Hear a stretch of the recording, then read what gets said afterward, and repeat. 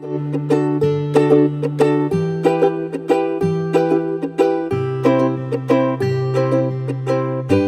oh three my time, so we're gonna get started because I want you guys to all meet Laura. Hi, Angela. Hi, Good to Angela. you.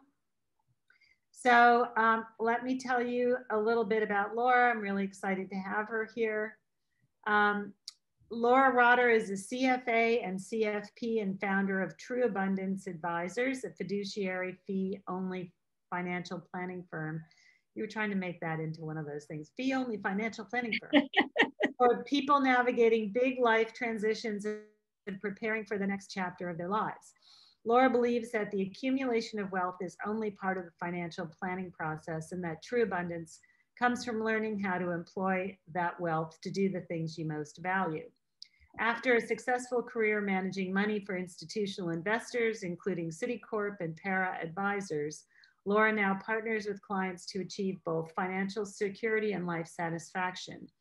She has been featured on CNBC, the Wall Street Journal, and Westchester Senior Voice, and is on the advisory, advisory council of Impact 100 Westchester, a women's group giving organization, and the investment committee of the Hebrew, Hebrew Free Burial Association. That's interesting. And so Laura's so lovely to have joined us. And hi, Donna. Good to have you guys here. So Laura, I'm going to let you go right in. Um, and I know you had some questions you wanted people to put into the chat box, so I'll let you do with that. Sure. So I'll, first, I'll watch the chat for you. Share my screen. Let's see where I can move you guys so I can move it forward. So first of all, Leslie, thank you so much for that introduction. Um, Leslie uh, and our team chose this name, which I love. I really love this topic, speaks to my heart. And I also want to say how much I enjoy being with the wonderful women from Covey Club, having spent a great deal of my life um, surrounded by men. I do not take for granted the um, the welcoming of groups of women, the openness to share. And um, I look forward from all of us learning from each other, not um, just me teaching. And Um, we're small enough, guys. I think we're small enough group that if you have something to say, you can just pop in and Laura knows um, you'll do that, or you can put it in the chat and um, I'm happy to ask it for you in the chat, whatever you want. But we're small enough today. either one. So I'd like to take this first moment to invite everyone to get present. Um, presence, I think, is a big part of, of our journey towards change. So if your legs are crossed, just, just for a moment, you can uncross your legs and feel your feet on the ground. And take a deep breath in. And let it go and arrive. I know some of you may have rushed to get here. So just invite yourself to be here in this space for the next hour. And it's my intention really to use this time to create a safe space. So um, know that if you feel moved to share anything, that it of course will be held by all of us in confidentiality and that none of us is trying to uh, fix or solve. We're all here just to listen to each other with uh, compassion and curiosity. So I'd love to get an idea of um, why you signed up for this webinar. Um, if you could share uh, what about the name of this webinar spoke to you. I'll jump in. Um, the reason that I signed up is because I recently left a uh, executive uh, role at a um, public company that I'd been in for 30 years. Oh, wow. And I left, actually um, resigned without a plan for what I'm going to do next. And I'm searching for um, ideas to reinvent myself. And I happened to find Leslie's uh, podcast. I listen to it every day when I walk my dogs. And I've learned so much and been so inspired. Yeah. So I came to your Covey Club. I'm trying to join it. I can't, I'm having a hard time with the website. So I signed up yesterday for one of your sessions and I'm back today. But I do need to join so that I can participate um, more fully. And that's what I'm here for to learn and grow. Awesome. Trouble with the website. Marissa, you have to help yeah, I need some help because I tried to, I, I, can only figure out how to sign up as a guest. So oh, I'm having difficulty signing up for, I think it's called Nest. Yeah, I'm, not, I'm having difficulty getting to the place where I actually pay. Okay, we got to, we're in the process of updating some of the systems. It could be partly that. So Marissa, okay. afterwards, we'll work with you. Thank you for letting me know. You don't find out, you know, until. Yeah, yeah. So, so I'm not done uh, contributing to life. I'm trying to figure out what, how, how and where and when I'm going to do that. Great. Thank you so much for sharing that, Donna. And that's uh, really a very brave step that you've taken. Um, if you're interested in sharing, um, you know, we've all come through this strange year. And is there something you've learned about yourself or about the environment this year that you're taking forward? You know, this year being 2020 that just passed, that you're taking forward and you'd like to share? Are you asking me? I am Donna because oh, she was okay, great sure. sure. Okay. Yes. What I learned is that I do not want to be stuck in a um, career that I'm doing just for money, for the salary, right? And the benefits, but I want to do something that's more um, true to my heart. And I learned this through COVID because I've always been in sales and marketing and leadership. And when COVID hit, I had to start working from home. And I wasn't around my network. I wasn't able to entertain and do the sexy things that went along with my job. And I learned that I do not want, I'm not a desk person, do not want to be behind a desk ever. And um, I just learned that I, I want to go in a different direction in my career and use my marketing, sales, and leadership skills in a different way to help other people to, I'm not sure, but I, I couldn't do it another day. And so I quit. And my husband supported me 100%. Wow. Yeah. Cut our income in half. Yeah. Sounds very familiar to me. That's what I learned from COVID is that I'm not moving forward, not doing what my heart feels appropriate. Um, actually, I went, I'm, I'm testing how these slides move. Would anybody, before I go on to the next slide, would anyone else like to share? And Leslie, if you see, because I don't have the full. Yeah, yeah, yeah. Go ahead and jump in, guys. We're a small group today. If anybody else wants to share. Well, hey, this is Suzanne. So, um, so the, the topic really spoke to me because um, I, I, I left a corporate position and actually the year after that was like the happiest year of my life. And um, you know trying to get you know trying to get something going. We talk a lot about um, starting you know new businesses and most of the time the first thing you try isn't necessarily exactly right.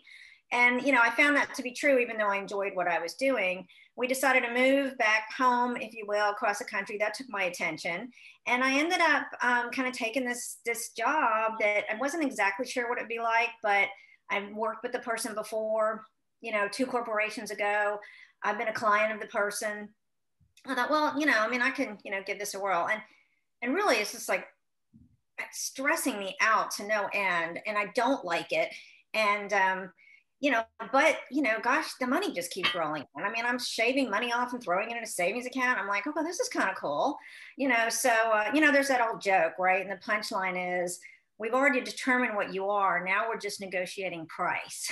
so, so, I get that, you know, but I really, I really would, and, and, and, and I'm not poor, you know, I'm not rich. I mean, look, I know a lot of super rich people. I'm nowhere in their league, but I also know average people and I'm way beyond their league. So I'm not in dire straits, but I, and, and I'm really compelled to, to do things well and, and, and be successful and have wins. And I think that's what's killing me in this job. It's like there's just no winning. And so, um, you know, I'm really struggling with, and I, I commitment's my number one value. I don't like the idea that this very tiny company with this person I've had a long-standing relationship with, that I would be kind of letting them down, going, yeah, you know what? I don't think I can really do this. Of go. So I've just really been struggling. So I'm, I'm, you know, really open to ways to think about things and how to kind of process all that and, you know, decide whether I'm being a prima donna or whether I've got a real point here and I need to make a real change. Thank you so much for sharing that, Suzanne. And, uh, and we did center at the beginning specifically to build the muscle to hear that your inner voice and to start trusting that inner voice. Um, and it sounds like you're hearing it and evaluating whether whether or not to trust it. Um, So I just put this slide in this quote from Howard Thurman, which I love and has been a quote that I've turned to through my journey over the last decade. Um, you know, we're, we're, we grow up taught to like, what box do you want to fit yourself in? And that is not the question to be asking ourselves. The question is, what makes us come alive? That is what the world is asking of us. That is what life is asking of us. And um, to get quiet enough to hear that voice and to trust that voice is, you know, frankly, our life's work. Um, so I'll share my story uh, briefly. I always like to make the joke that I had a 30 year career on Wall Street, but I started when I was 15. Um, and I really see that career in thirds. The first 10 years were amazing. I did interesting work. I was paid well for that work. Um, I was sort of the nerdy kid in high school. So suddenly I had a career that I felt outwardly represented how successful I was. And in some ways was, you know, what I needed to see as a young person. And so I loved what I did for the first 10 years. I was an analyst on Wall Street, got to know different industries, got to meet different people. The second 10 years, I was far and away the primary breadwinner of my family. My husband's a physician, but he's he stepped back to work part-time and it was a blur. I have three kids. Don't I'll talk to you offline how the age difference between the youngest and the oldest is two years. So though I was the one who came home to them bathed in their pajamas, it was a busy household for quite a long time. So I didn't question what I did the last 10 years, I have to say, were just misery. I had to be on a trading desk at 7 a.m. with a bunch of guys whose values I didn't share. They were all divorcing their wives and marrying young wives. It was, and I was trapped by the life I had put in place. I had a large 6,000 square foot home. I had a vacation home. I had three kids in private school. We took fancy vacations. And um, I it took mindfulness practices. I found yoga. I actually took a yoga teacher training. I started to meditate. And it sounds so simple, but I suddenly wake up to this woke up to this idea that you only get one life. There ain't no do-overs. you know, if you're getting up every day and putting on a tight pair of shoes and clutching and clawing your way to the weekend when you can be yourself, you're choosing that life, Laura. I was choosing to be a victim, and it occurred to me that I could make a different choice. And we'll, in, in future slides, we'll get on like specifics of this, but I sold my big house and I sold my vacation home. And the time was right. I had paid for college. My kids were off the payroll. And um, I made a different decision. Uh, but as I, as I pointed out earlier, when um, when you spoke, it, it does take bravery. It's not like you snap your fingers and then you're into this next great life. But, you know, life was calling to me and, and I, I had to answer. Um, I put this slide in uh, because I have made my mission. So I, I, I moved from institutional Wall Street to now working with individuals. And my mission is working with individuals who are either already in a big life transition or are moving towards a big life transition and to work on both aspects of money. Of course, the technical part of money, but there's no time when money changes that your life doesn't change. And conversely, when you make a personal life change, uh, a marriage ends, a career changes, that is going to have an impact on the numbers and um, the two go hand in hand. And so I'm I'm a member of the Financial Transitionist Institute, um, where again we are privileged to work primarily with people who are undergoing a big change in their lives. So defining your why, this is the you know over-mentioned Simon Sinek quote, but it's really important. Um, if the only reason you're contemplating making a change is because you're running away from something, I find that that's a lot tougher than if you feel yourself pulled towards something else.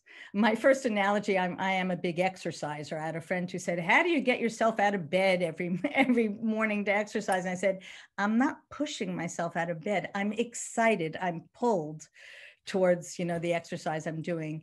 Um, I find the people I work with that um, have the most successful transitions are those who understand why that change is taking place. What are they moving towards? Um, the quote here it's not logic or facts, but our hopes and dreams, our hearts and our guts that drive us to try new things. So, on the next two slides, um, I'm sharing exercises that I do with people I work with. Help them start to identify what's calling to them. Um, so I want to take um, a minute or two here to read these questions out loud and give you a moment or so to, to sit on them and, uh, and if anyone feels moved to share. So I, I, call this investing your time and energy because of course people pick up the phone and call me thinking you know i have an inheritance. What do i do with this money? But we have two scarce resources as as everyone on this call is aware and certainly as this year has made so many more of us aware our time is a, is a scarce resource and we're always trading off one for the other. Our time for money our money for time and so it's important to consider how do you want to invest your time in the coming years? So, thinking back over your lifetime, what accomplishments have given you the greatest intrinsic rewards and why?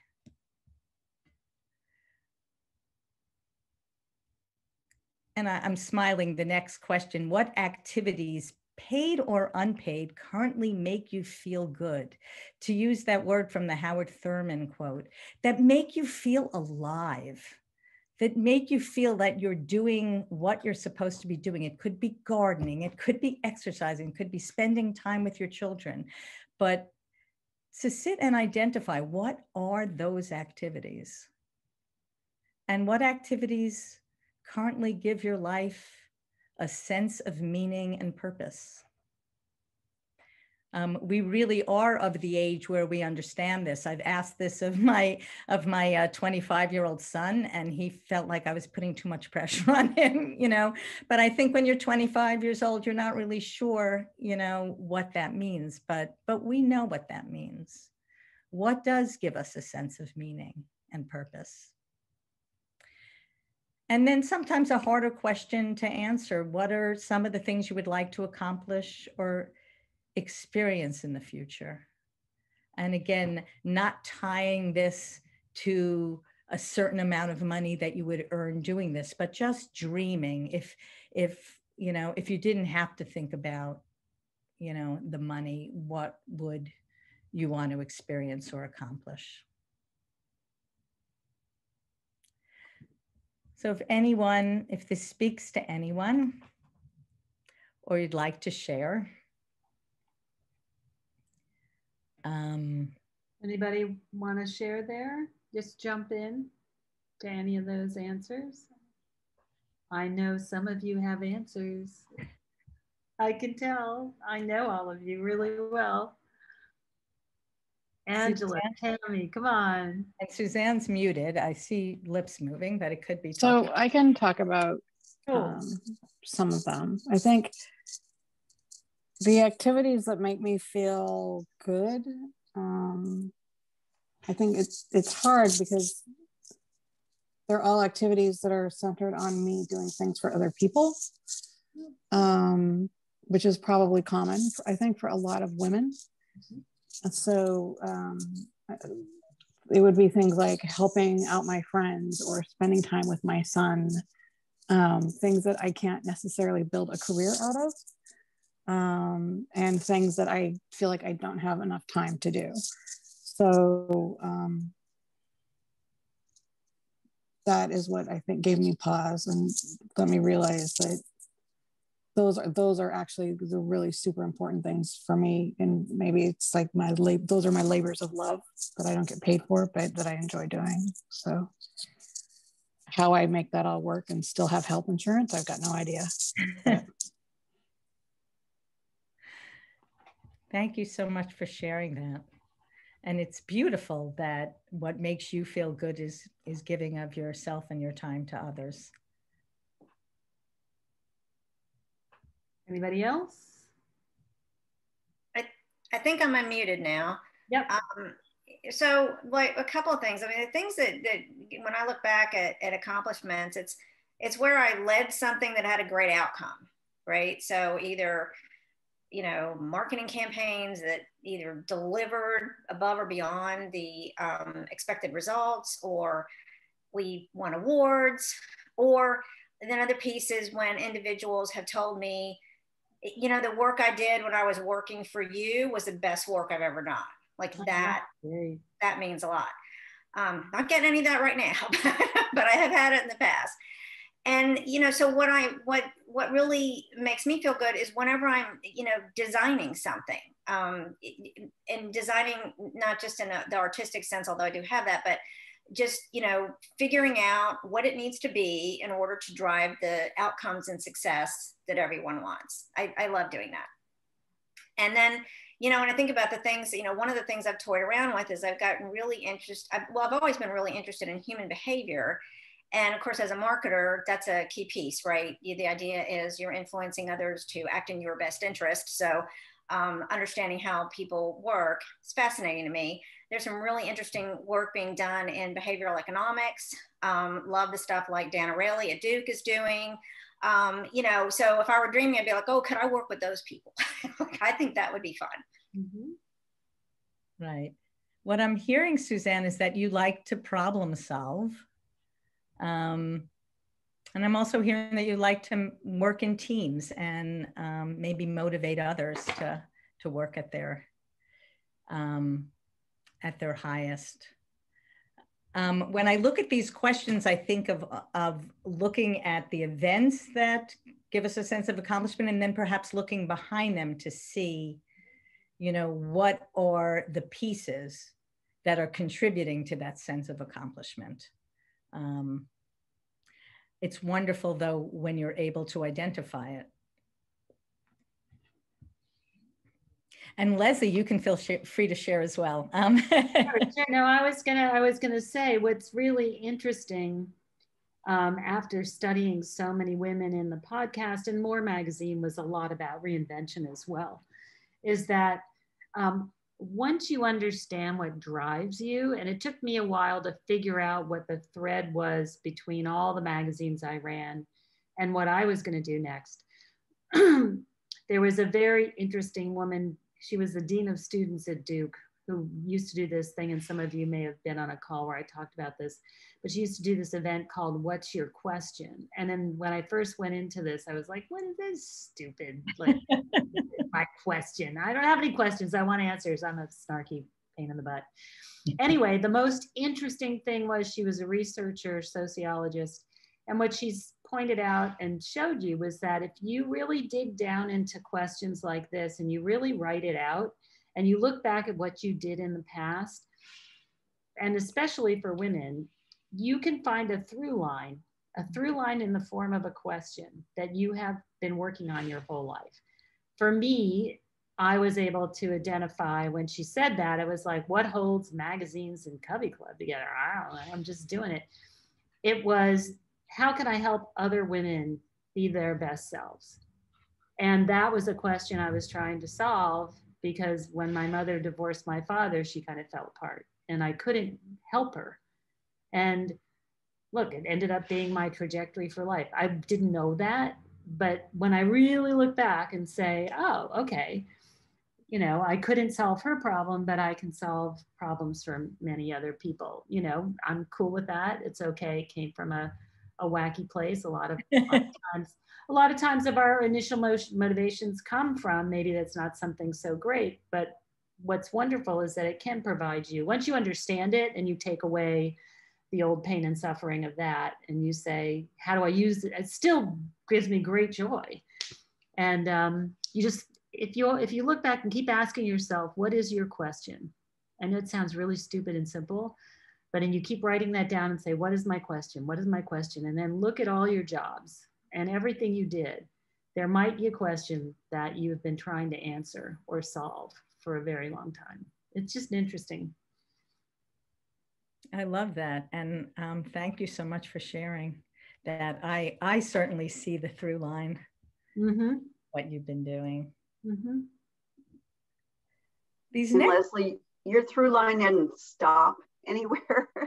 I've, I've found my line has kind of stopped. I know what I used to love to do in my career as an event planner. I absolutely loved the things I accomplished then, and then my career changed.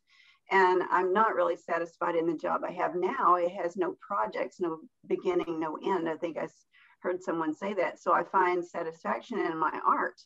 However, there's a million starving artists out there. And when I see that third question of, of, you know, what else, where would that lead you? I, I, my line stops. I haven't, I don't know how to make the connection about what I loved to do then to make money and what I love to do now to relax. I What's the next step to find how to weave those two together? I bet you can find a connection, right, Laura? Those are the kind of, I think those are the kind of things that you can find the connection when you start digging. You probably need, you know, a little coaching in there, I'm guessing, but I think that, to me, that would be, I know there's answers there. We're not motivated, in my opinion, having done 25 years of psychotherapy myself, um, I've seen questions where I see I've seen you know answers and questions and motivations where I originally thought there were none. When you really get somebody to help you figure it out, and sometimes you know we can do that through coaching or whatever. Sometimes through groups, right. but you got to find a way to connect those, Tammy, because you can but I understand that. I think part of the problem, and, and Laura, I don't know if your clients uh, talk about this, this digital age is killing people like me and probably like Tammy, where we like to have projects that were done. And you know, and I can see with your painting, Tammy, because I watch you and I love, I love where you're going with your painting. I love, I'm watching Tammy, pro, you know, like progress in her painting, and um, that tangibility is a really difficult thing in this world that we're living in. My son's suffering the same way is that he's, you know, a tech tech guy and nothing's ever done. You're always on the wheel, nothing finishes, nothing ends. Whereas magazines were very tangible. I could put it up on the wall, it would end up on my desk. You know, when you do an event, the event happens, it's over, you get accolade. There's, you know, there's something about the old way of doing business that we're missing today, which creates a, a sense of less satisfaction. Oh, just muted. Um, and I guess I want to add a sort of a different framework to Tammy's question, which is, um, as as I've learned on this journey, which is the key is to just try it out and you know, take a chance, try something that may not be the thing. Um, but to keep moving forward and trying and being willing to fail and learn from you know what that failure is and then try something else um, because we're constantly evolving the world is constantly evolving and what you might think is like that perfect through line you may be doing something a little bit different the year after um, and not to feel like you have to know now um, I, I, read Mark Nepo every morning. He's a poet and he has an entry for each day. And he had a recent entry where we we approach our lives like a puzzle, like what's the next piece? Where do I need that piece? And actually, if we could just relax and let go, our lives are a song. And you know, just be willing to see, sing it and you know, maybe be off key. Um, it's very hard for us culturally to do that, but it's uh, it's a, a different it's a way to reframe this journey we're on. Um, I'm going to share these questions from George Kinder that I also use in my practice with clients. Uh, George Kinder is a Buddhist and known as the father of financial life planning. And um, he's known for these three questions asked in progression, a little tough. Um, the first question is You're financially secure. you have enough money to take care of your needs now and into the future. How would you live your life? What would you do with that money? What would you change? Mm. I'll ask all three like I did before and then let us sit with them for a bit. So the second question is your doctor tells you have five to 10 years left to live. You're going to feel fine during those five, 10 to 10 years. You're not going to feel sick. On the other hand, you, you have no idea when, when it's going to be your last day. So what will you do in the time you have remaining? Will you change your life? And how? And then the final question is um, your doctor tells you that you've got one day left to live, you have 24 hours. What dreams will be left unfulfilled? What do you wish you had done? And what did you miss? Mm-hmm.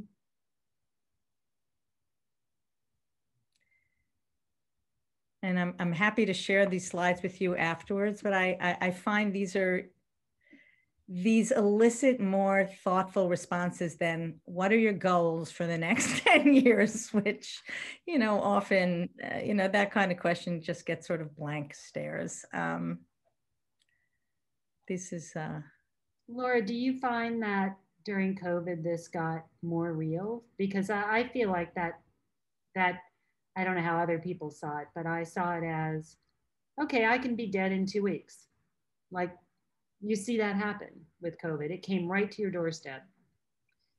The normal people, healthy people, you didn't do anything to deserve this. Bang you could be out of here. And it just brought that, you know, right to your right to your doorstep and like, you know, this is not a dress rehearsal. Do you hear that from your clients?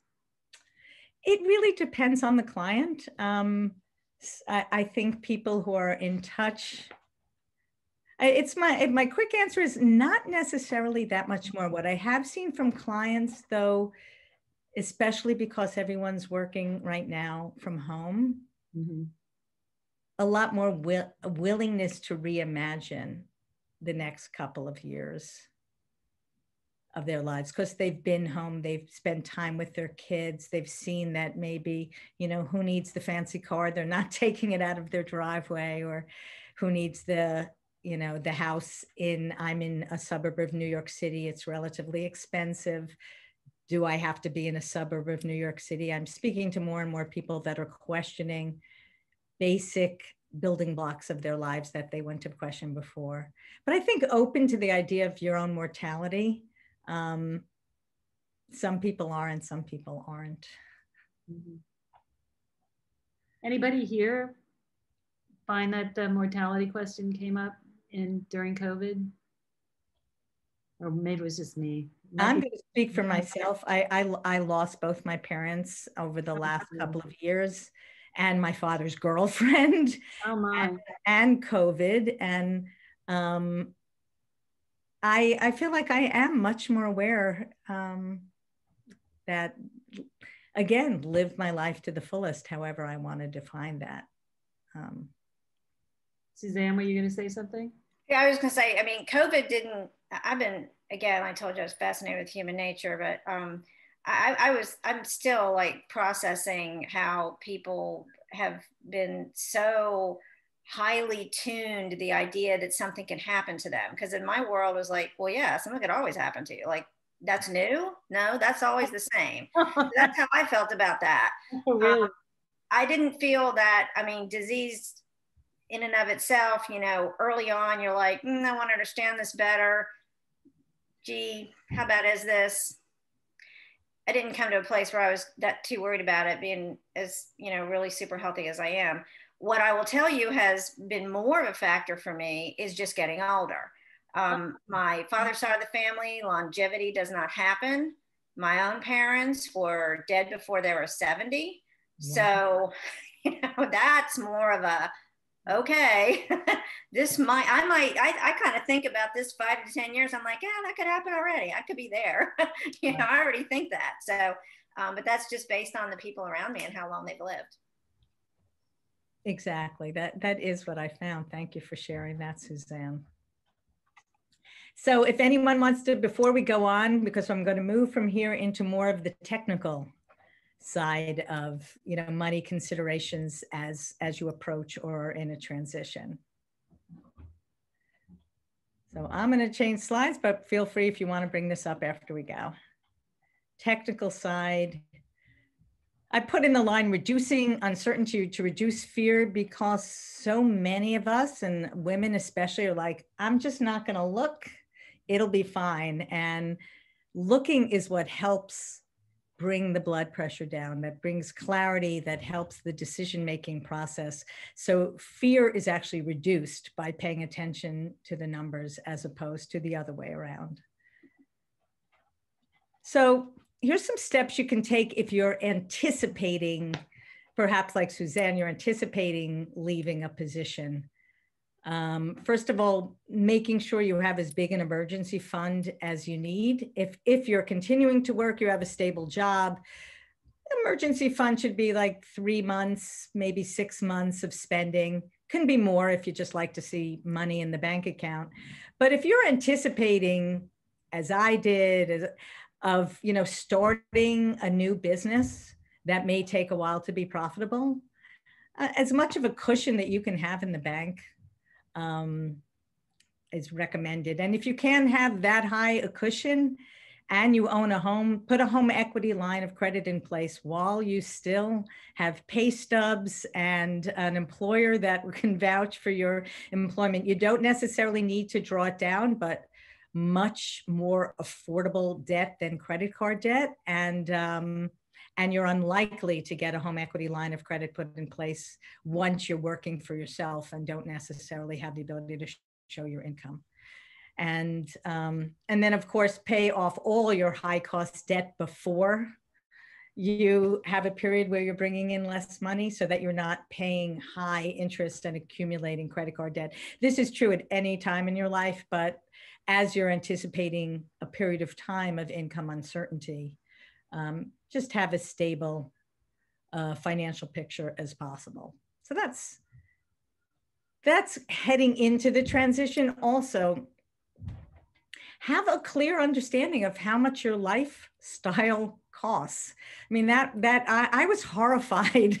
there was a period in my life. Again, these are New York Wall Street numbers, and I had kids around, that I had to earn $600,000 just to break even. Like it was horrifying the expenses I had put in place. Um, and what I say to my clients now is pretend for the next month you're going to lie in bed and watch Netflix. What, are what are you paying for anyway? Like your rent has to be paid, your mortgage has to be paid, your Netflix bill has to be paid, your cell phone has to get paid, your lease or your or your car loan. What are the things that you feel like you're not even spending any money, um, and that you have to pay for. And ideally, and I'll talk about this in another slide, ideally, that's not more than half of what you're bringing in each month. Um, because if it is, then there's less money for fun and less money for the cushion. So the first thing to do is just to look at all your recurring, you know what they are, monthly expenses. Interestingly, there are often expenses that go away when you're not working thought about it in COVID, it's fewer expenses. I mean, in my, when I was working, I had the monthly, you know, commuter rail pass and I had to have a car. So the parking permit and dry cleaning bills for the suits I was wearing and, you know, getting lunch in Midtown Manhattan. I never brown bagged it was like 15 to 20 bucks a pie. I mean, all those things went away when I stopped working in, you know, my previous career so just looking at what you're spending now that you may not be spending, you might not need a car, might not need a second car. What can you get rid of um, if you're no longer commuting and in your corporate job? Understanding your savings, um, looking at what you have accumulated, not only the emergency fund, but hopefully you have some money that's in investments. Um, and ideally you're not going to draw that down in the per period of time but if you do need to draw from that rule of thumb in my industry that's debated all the time now because of low interest rates is you don't want to withdraw more than 4%. The idea being that over a long period of time, your investments will earn at least 4%. So you can keep the principal constant while taking some money out to support your lifestyle. Looking at what you have, and is, is that at all a possibility? Um, other sources of income I put on the right, but frankly, as you're looking at a transition, this is probably the one of the first things you consider. I'm not, I'm, I'm assuming most of you are, are not going to suddenly stop working. Um, hopefully, we'll all have long lives, notwithstanding our genetics. And I always assume everyone's going to li- live till at least 95. You don't want to sit home and not be doing anything. Can you use your skills to work as a consultant? Or are there other roles you're drawn to, perhaps working in a nonprofit industry or something that will pay less, but you'd enjoy more? And where does that fit in? And if you have questions on any of this, please chime in. I'm going to go through this slide quickly. You know, will you need health insurance? Can you get on your spouse's plan? Um, will you consider relocating, which frankly, a number of my clients are starting to look at now, um, areas that have lower costs of living. And also who depends on you? And it's not only if you have kids that depend on you, but do your parents so depend on you for help? Do you have siblings? that you know you help financially who is dependent on you and do you have you know protection in place i'm just going to chime in on lower cost of living. I never lived in a place that had a lower cost of living. I've been in new york for 40 years. And it's shocking. When you go somewhere you take the cat to the vet it's not $450 it's 125. and i'm standing there going and? And and? And they're like no no that's it. And you're like with the blood test the blood test is usually $400 i don't understand. You don't realize how how you just took it all for granted that that was the way it was and there was no other possibility. So it is a, it's an it, it i can also understand now why these young people can't migrate to a more expensive um, standard of living but you know you can have a great life in other places and it's just i never knew that. I mean i couldn't leave new york because i was in publishing. There was no other place for publishing. But it is a wonderful when you are at that moment it is something to think about and not just in terms of retirement or whatever. It's in terms of making your life easier. I'm with you. I'm with you there. When I'd forgotten, I'd been in, in New York for you know ten years, and I'd forgotten we moved back to Memphis. And the first utility bill I got, I just giggled. I mean, it was. yeah, I spent more to park my car in the city than that. It's very, very true. I'd like to add that the um, reason I was able to actually uh, leave my job is because my husband and I sold our home in LA. We've been in LA our entire marriage, 30 years. And um, we are now living in a 1,500 square foot home that we bought as a rental property in Palm Springs. And we love it. Minimalizing is amazing. So we um, took that leap and it's awesome. That is, that's awesome. That is great. Right now, no way. I'd be hustling yeah and it's nice to not have that pressure you know mm. on you to it just i mean that it's wonderful but palm springs is a great place to go to downsize. I don't miss my old lifestyle. I do not miss it yeah me either. So interesting. awesome. Yeah. Yeah. Um so the first thing I use with people are just trying to understand what their overhead is, is put a mindful spending plan in place. We talked about having your recurring expenses 50% or less. And a big way of doing that is again, you know, I this the house I'm in now is half the size of the house I was in before and much more warm and nurturing. And, and this is like a spiritual home I moved into. Um, and it sounds like um, you also Donna, have have brought your expenses down. So one of the ways I do this, um, and it's sometimes hard for people because we're all addicted to the points of our credit cards, but just at least for a month or so, as an easy way to track how much you're spending on discretionary, come up with a number after you see what your fixed expenses are. And ideally, maybe saying about 10% to 20%, I'm going to pay myself first. I'm going to put into a checking, uh, a savings account. So what's left in the middle? I'm going to say round numbers. This may be high, this may be low. Let's say, okay, I've got an, I've got another, it's probably high, 4,000 I can spend for the month on discretionary. Divide it by four. So say, okay, a thousand on discretionary.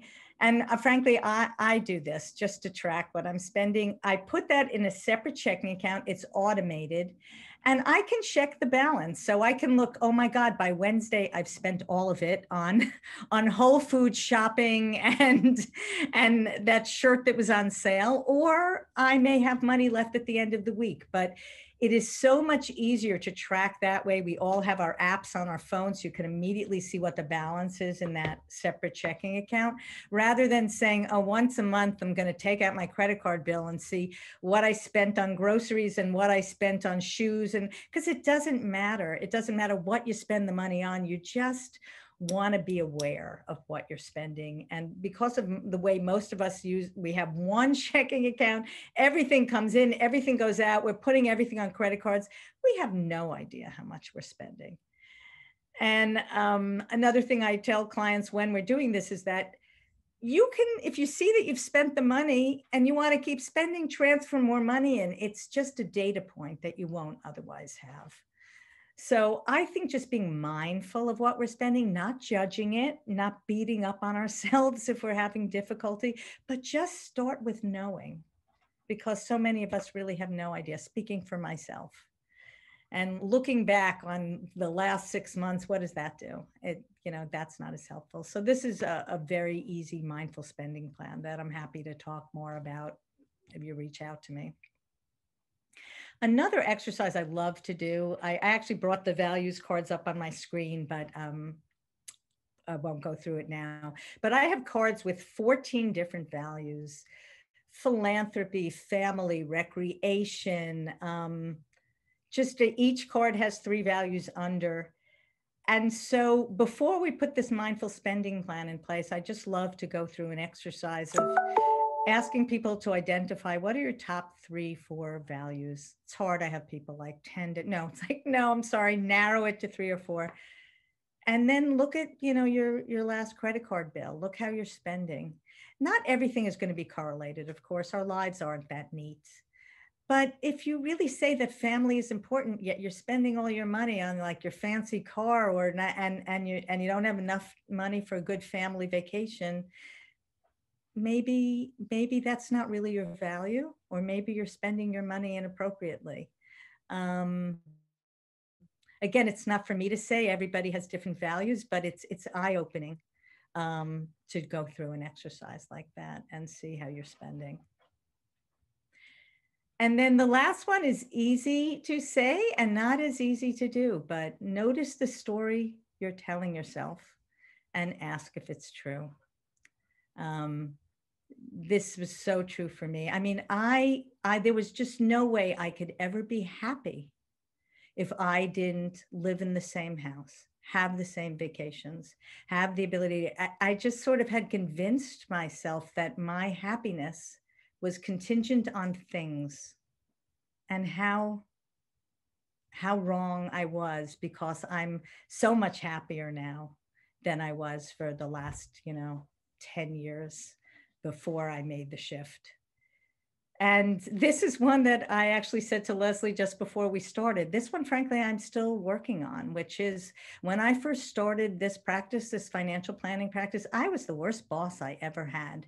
But it was a neat, I think, to prove to myself that I was successful. And if I wasn't like up at the crack of dawn and on email till 11 o'clock at night and scheduled to like, you know, to the life of each day, then I wasn't successful.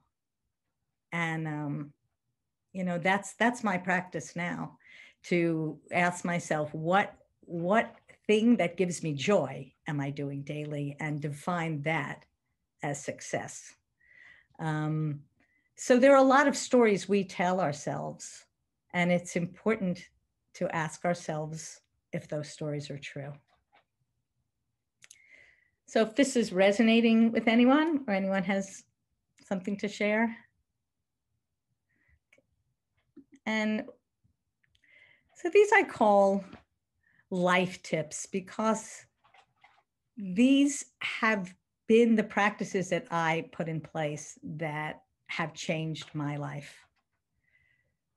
So, uh, as I said earlier, my journey started when I began to practice mindfulness. And I was such a I'm a type A personality. So when I first started practicing yoga, I mean, it was Bikram yoga, if you guys know what that is, you know, 104 degree heat, sweating.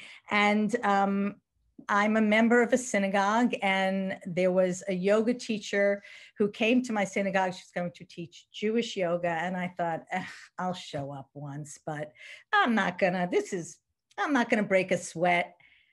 This woman changed my life I'm, I'm going to start she really changed my life, made me aware again that I was choosing what to do each day. And so just sitting still for five minutes a day, two minutes a day, I think can really make a difference. And um, I'm not saying anything new by by saying a gratefulness practice, a gratitude practice can also make a difference in your life because we uh, we are hardwired to get up and notice what's wrong. Oh my God, I have to.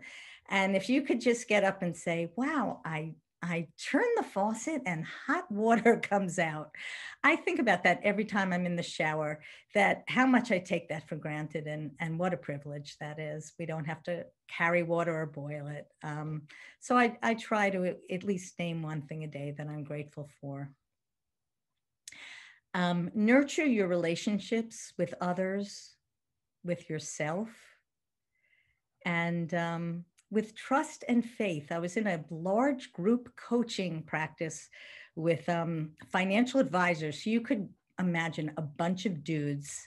And we would start our meetings um, with one of the coaches saying, What's your relationship with trust and faith? And that means something different for everyone. But if, as you undertake a journey of transformation, of change, faith and trust plays a big role in that. And so just answer that question for yourself. Um, and finally, on this slide, make time for self care, get enough sleep. I actually, one of the biggest gifts I gave myself this past year is I wake up at seven instead of six. I have difficulty getting to bed before 11:30 midnight, and that has made such a big difference in my life. I'm actually awake. Um, I try to hydrate, move your body, if that means dancing around the room, eat well, and um, and I've really come to recognize that understanding your finances is part and parcel of self care and something that women, um, again, generalizing, uh, don't always do for themselves. And it's, it's important too. And I think this last, I've, I've been reading, David Whyte is a well known poet, and he has a book where he really um, addresses the career world. I'm sorry, I'm forgetting the name but I saw this quote and I said I had to include it. As we practice going inward, we come to realize it's a cry for something else sometimes that we hear. Often the physical body's need for rest, for contemplation, for a kind of forgotten courage, one difficult to hear, demanding not a raise, but another life. And this is me, but I like, I, I put this at the end because I do think as we go through transitions in our lives, it does take courage. Um, it comes, it, which comes from our heart, right? It's a Latin word meaning heart. So um, cultivate love. May feel uncomfortable to say love for yourself, for your journey, for listening to what you need and and for the others in our lives that will help us along on on the journey whether it's other women at covey club um, our family our friends. So um, it takes courage to lead a brave life but um, i know leslie's story i know mine and it's it's worth it. Thank you. Laura thank you. That was amazing. I love i love when financial people we're not financial people the way that I think they they usually are. I love it. That's fantastic. let me tell you guys what else is coming up um, tomorrow, which is Thursday at 2 p.m. How to double your business revenue in 2021. And that's with Jennifer Kim, who's just, she's amazing. She's a certified professional business life coach. And she's, she just, she's just got plans and ideas and ways to move you forward. She's just extraordinary. Positive mornings, you should come and give it, give a try. We have April is Share the Covey Love Month. So we're inviting everybody who buys a ticket to bring a friend with them, or if you're already a member of Positive uh, Mornings, you can just let Marissa know who you want to bring. And to each Positive Morning in April, you can bring a buddy with you, which we want to share the love because that's one of our our best um, events that we do. And those are at 9 a.m. Uh, Monday mornings, 9 to 10. It's worth your time. Healing the Wounds of Not Enough, which is Wednesday, April 7th at 2 p.m. Uh, that's Paula Prentice, who's amazing. She's a professional life coach, licensed social worker, speaker. She also was a producer, a news producer, um, and she's just amazing. She's come and spoken before with the Covey Club, so you can see her, what she's done before. Um, and then How to Get Through Menopause with Top Notch Style, that's Thursday, April 8th at 2 p.m. and that's Meg Matthews. It's two o'clock. She's a icon of the 90s British pop scene.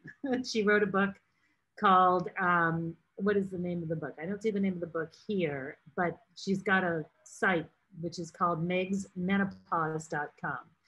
So apparently she's very funny. So this should be fun for us to do. so I hope you will all join us. And Laura, that was amazing. Thank and, you uh, for having me.